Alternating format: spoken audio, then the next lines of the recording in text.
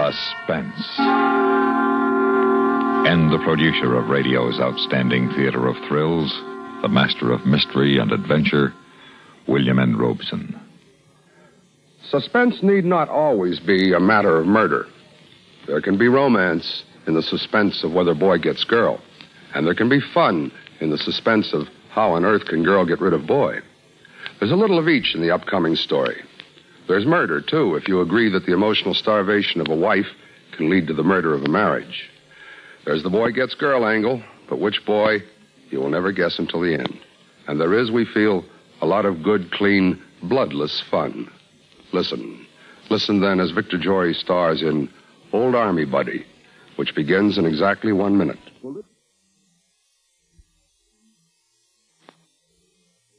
And now, Old Army Buddy, starring Mr. Victor Jory. A tale well calculated to keep you in suspense. Funny thing how long it takes people to spot a phony. I'll give you an example. Frederick Carlton Haskell, foreign correspondent, author, newscaster, and lion of the lecture halls. You read his dispatches from The Europe. Prime Minister assured me today during a two hour chat at the Foreign Office that no further concessions could be expected until the present attitude of the pressure powers has You've heard his pear shaped tones on your radio. I do not think it is too much to expect that the campaign will result in some astounding and radical changes by the time the final tally is made next November. Have you any idea what he's saying? But then what difference does it make? When Frederick Carlton Haskell carelessly tosses his British trench coat over his Harris tweeds, he's America's ideal of the perfect foreign correspondent. Middle aged ladies mob him at Middle Western lectures, and book clubs plead for the privilege of publishing his pronouncements. Yes, he cuts quite a figure in public, does Frederick Carlton Haskell. In private, well, that's another matter. Those of us who, for one reason or another, have been close to him for enough years have seen through him for a long, long time. I, for one, and his lovely wife, Anne, for another. In the Shadow of the Kremlin by Frederick Carlton Haskell. Dedication. To my wife, without whose steadfast devotion, inspiring confidence, and daily concern, these pages could not have been written. Preface. Fred. At the outset, I wish to make it clear that during Fred, the I want to talk to you. Later, Anne, I've just started to dictate my new book. Fred, what I've got to say is more important than the new book. Nothing is more important, Anne. I am therefore the man best qualified to bring you a complete and unbiased report of the conditions today in the shadow of the Kremlin. What took so long, Fred? Mhm. We spent only six days in Paris for In the Shadow of the Eiffel Tower. In the Shadow of Big Ben took only three days in London. Well, the uh, um, Soviet picture is uh, vastly more complicated. I uh, had to give it at least ten days. When did your plane get in? 4.30 this morning. Visible trip, headwinds all the way, made all the stops. Shannon, Iceland, Gander. Why didn't you let me know when you got home? No sense of waking you up at 6 o'clock in the morning, and anyway, I wanted to get started on this piece while the impressions were still fresh in my mind. I've got a deadline to meet. you How know. well I know. Have to keep going, you know. Stand still and you start going backward. Well, you've got to stand still for this, Fred. I want a divorce. You want. Uh, you must be kidding. No, Fred. I've been thinking about it for a long time. And while you were away this last trip, I made up my mind. I just want out. But why? You've got everything a woman could ask for. You're young and beautiful, the wife of a famous man. Why, you're the envy of every woman in America. What more do you want? A divorce. Impossible. I don't want to be ugly about it, but I will be if you force me to. You, you have no grounds for a divorce. Oh, yes, I have. What? Infidelity. Absurd. I've never looked at another woman since I first met you. Nevertheless, you're not in love with me. You're in love with someone else. Who? Yourself. Anne, that comes close to being an insult. It's the truth. In your opinion. Certainly no judge would concur. No, Anne, it's out of the question. I will not disillusion the American people. They believe in me, and so they believe in you and in our marriage. In a way, we are a symbol. Oh, rubbish. Why do you always have to create some kind of unpleasantness just when I'm in the middle of a job that requires all of my faculties? It's most inconsiderate, Anne. Really inconsiderate. I'm sorry if it's inconvenient, inconsiderate, and unpleasant. but I want a divorce. Anne, you're trying my patience. Now, if you'll excuse me, I really must get on with the book. I'm facing a deadline, you know. Too bad you refuse to face facts. Had the reader been so fortunate as to stand in the shoes of this reporter on the Red Square two weeks ago, he would have realized the tremendous forces which have been unleashed. The second act of Suspense continues in one minute. And now, we continue with Act Two of Old Army Buddy, starring Victor Jory. A tale well calculated to keep you in suspense. I learned of this newest development in the career of Frederick Carlton Haskell the same afternoon in the tap room of the press club. The usual regulars were at the bar. The conversation was pleasant, aimless, mostly shop talk. And then the great man made his entrance like Prince Philip inspecting a cattle show. Well, boys, it certainly is good to be back home again. Uh, no matter what they say, there's no country like the good old USA. You've been away? That's right.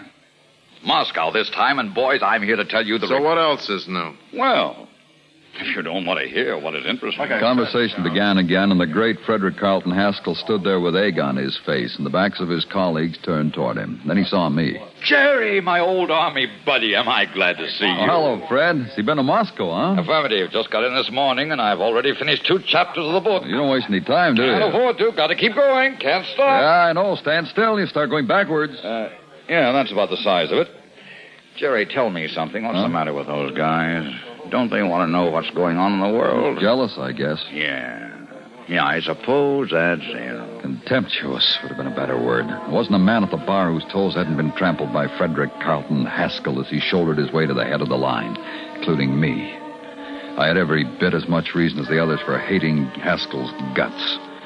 But I also had a much bigger reason for being his old army buddy. Now, you are my friend, aren't you, Jerry? I hope so. Well, something's come up, and I feel you're the only one I can discuss it with. Flattered. Let's uh, go at that table in the corner. Oh, okay. 'Cause I wouldn't want any of those big ears of the bar to hear this one. No. All right, Fred, what's in your mind? Jerry, I'm worried about Anne. Why? She's sick? I'm afraid so, Jerry. Very sick. Mentally sick. What makes you think so? She wants to divorce me. Oh, no. Why? I ask you, why? Haven't I given her everything? Clothes furs, jewelry, a beautiful apartment. certainly have, pal. A woman would have to be crazy to want to throw these things over. Well, it depends on who she's throwing them over for, though. What do you mean? Who's the other man? There's no other man. How do you know? Did you ask her? No, it never occurred to me. But how could she possibly be interested in any other man? I don't know. Women sometimes do the darndest thing. Hey, let me ask you something, Fred. What? Do you love Anne? What's that got to do Did with you it? ever love her? Look, old army buddy, let's not confuse the issue. The trouble with women is they expect the honeymoon to go on forever. A man's got work to do. Hand holding in the moonlight just doesn't buy any square cut diamonds, you know? Hand in the moonlight is a lot warmer. What do you mean? Ah, never mind. What are you going to do about this? I'm going to take her to the best psychiatrist in town, no matter how much it costs. The poor girl needs Well, help. that she does. Meantime, Jerry, not a word about this to anyone. Of course not. Thanks, old army buddy. Thanks a lot.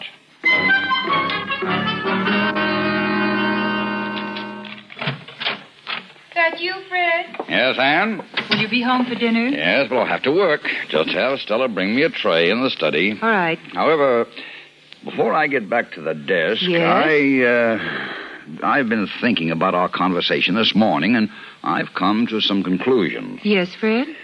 I've made an appointment for you tomorrow with Dr. Zlotny, The psychiatrist? best man in New York. Oh. What, what, what's so funny? Oh, your, your conclusion. You think I'm crazy. Well, now, hardly that. Let's, um, let's just say that you're disturbed. Your, your, your sense of values is out of adjustment. I'm sure you won't require a very long analysis, but believe me, Anne, you do need help. Fred, all I need is a divorce. Now, you see, you see, you just don't make any sense. Just like that, you want a divorce. Now, if there was another man, I could understand. oh, but there is. there is. Yes. You didn't tell me. You didn't ask me. Who is this cad? A man?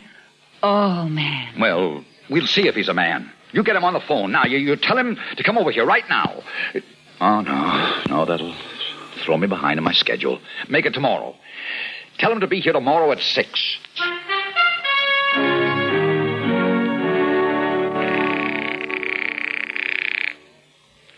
Hello?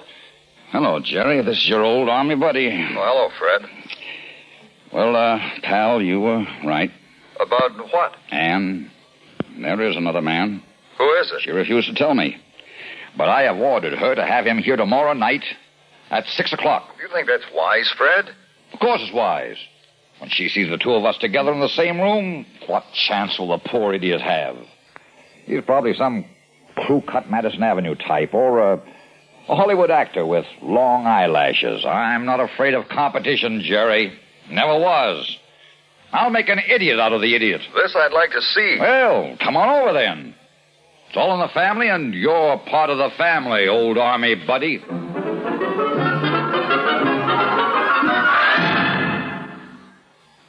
Three of Suspense follows in one minute. And now,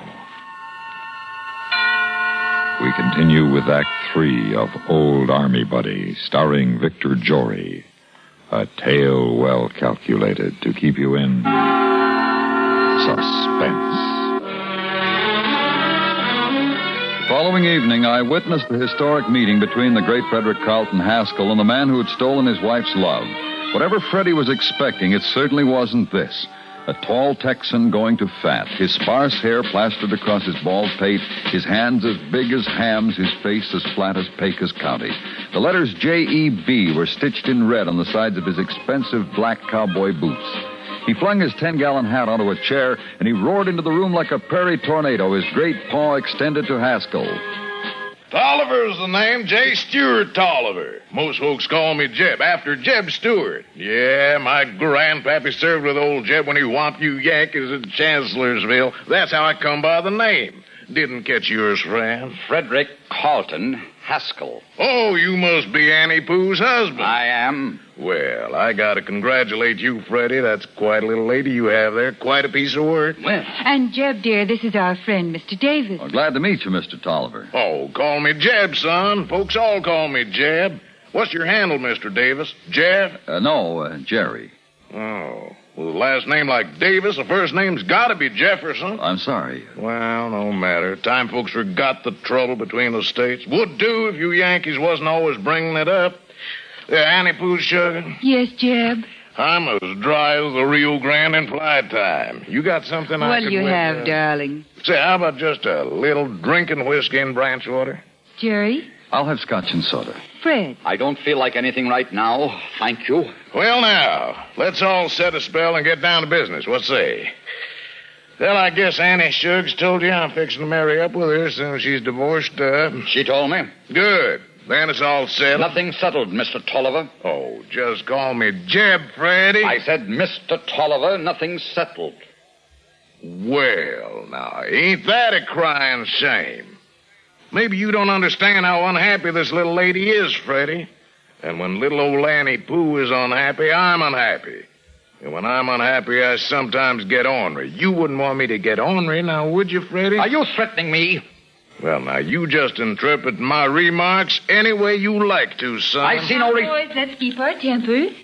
Jeb, darling, your drink. Oh, thank you. You didn't put too much branch water in it, did you, Mumsy Pickle? Just as you like it, darling. Yeah. Jerry? Thanks, Ann. Sure you won't have a drink, Fred? No, thanks. you. Just I suddenly don't feel very well. What's the matter, Fred? Nausea, dear. Acute nausea. I need some fresh air now. I'll go with you, Fred. No need. It's me that's sick. Think you're the only one? Come on. Let's go back to the club. Well, Freddie, son, we ain't settled nothing yet, including your stomach.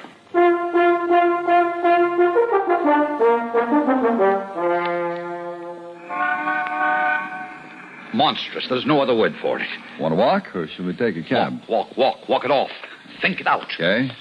After all I've done for her, all I've given her, there can only be one explanation. She must be out of her mind, mad, stark, raving mad. Could be. She should be committed to an institution. Oh.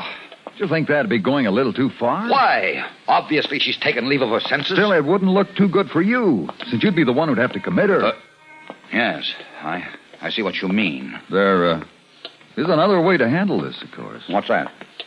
Just give her the divorce. And make myself a laughing stock from coast to coast. On the contrary, make her the laughing stock. I, I don't follow you. Look, Fred, if she'd fallen for a good-looking guy younger than you, if she'd lost her head to a movie actress, say, or to another newsman like Worthington Davenport. Heaven forbid. Exactly. Then you would be a laughing stock. But she's gone goofy over a clown, an ignoramus. Uh-huh. When that story gets around, everybody will think she's crazy. Everybody will say that she's an ingrate, mm. unworthy of the position you've tried to give her. Yes. Yes, I see what you mean. You just leave it to me, pal. I'll see that the story gets around. Jerry, old army buddy, you're a real friend. It's a privilege and an honor. Let's go back and get it over with right now. I'm with you all the way, old army buddy.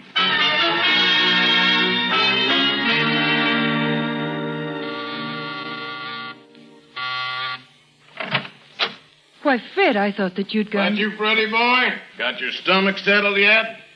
Now, you just take a glass of this drinking whiskey. She'll be settled for good. She's settled for good, Mr. Tolliver. Oh, shucks, Freddy. When you gonna start calling me Jeb? Folks all do. Mr. Tolliver, I have decided to give Anne the divorce. Oh, Fred, I could almost kiss you. That you. won't be necessary, dear. Now, that's the best news I heard since Yellow Rose number three come in in the gusher. Now, you come on over here and snuggle up to Pappy, sweet me. Please spare me the prenuptial spectacle. There are a couple of details to be gone over, and then I'll be on my way. Where are you going? It has occurred to me that I might effectively expand the scope of my new book by including a definitive evaluation of the Iron Curtain countries. I shall be away at least six weeks, during which time I assume you will be residing in Reno. You're so thoughtful sometimes. Fred. Naturally, under the circumstances, Anne, you wouldn't expect any alimony or property settlement. Naturally. Shucks, Freddie, don't you fret about money. I'm taking care of little old Annie Pooh from here on down the trail. Well, I guess that covers everything. There's a plane out of Idlewild for Warsaw in uh, uh, an hour and a half. I can just make it. But you got to pack. I'll pick up the bag I keep at the club for emergencies. Well, goodbye, Anne. Goodbye, Fred. And thanks. There's nothing to thank me for. You brought this on yourself. Now, mind, Freddy. you ever get down Waco way, you be sure to drop in on little old Sugar Pie and me. That's very doubtful, Mr. Tolliver. My work concerns itself only with the more civilized parts of the world. Hmm. You coming, Jerry? Uh, not yet, Fred. I feel badly in need of a drink. Very well. Thanks for everything, old army buddy. And you'll follow through, won't you? You can count on me, pal. I'd like to leave you with this parting thought. I have witnessed the destruction of war, the internecine strife of revolution, the fall of governments, and the miscarriage of justice in a score of countries from Tierra del Fuego to Spitsbergen. But never have I seen a more tragic and irreparable error than has been committed in this room this evening. Well, I'll be horn swoggled. I'll rope me for a longhorn maverick. Just what in the world did all them big words mean? Oh, you're wonderful, Harry. oh, boy. Thanks, Jerry. It was your greatest performance. Well, how could I help it? Look at my audience. Oh, come here, darling. Oh, Jerry, Jerry, at last. Hmm. I uh, hate to change the subject, friends, but West of Rimrock goes on over Channel 14 in less than an hour, and the sponsor isn't going to like it if old Sheriff Saul is late. Oh, I'm sorry, Harry. I forgot all about you. that figures. Uh, how much do I owe you? Well, Actors Equity doesn't cover this kind of a performance. Well, how about a hundred bucks? Should be sufficiently over scale. Here you are. I'd make it a thousand if I could. It was worth it. Oh, thanks a lot, Jerry. Well, I gotta be moseying along now, ma'am, but before I go, I want to wish you and your young feller as much happiness as old Paint and I have known together. and if you ever get down Waco way, like I... so long, kids. so long, Harry. Bye. Oh, darling, darling, Oh, my dearest. darling. Hmm? Is there a plane for Reno tonight? Dozens of them. So who wants to hurry?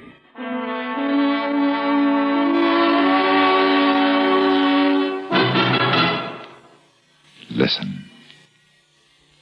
Listen again next week when we return with another tale well calculated to keep you in suspense.